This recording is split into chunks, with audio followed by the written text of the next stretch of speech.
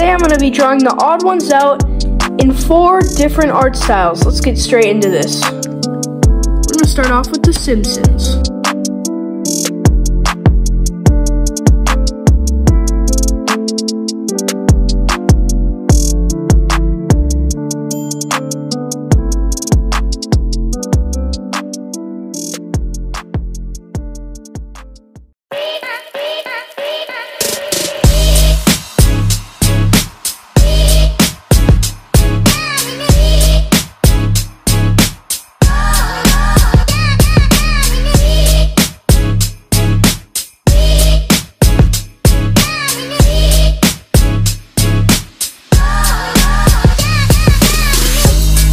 That's all in the style of the odd ones out.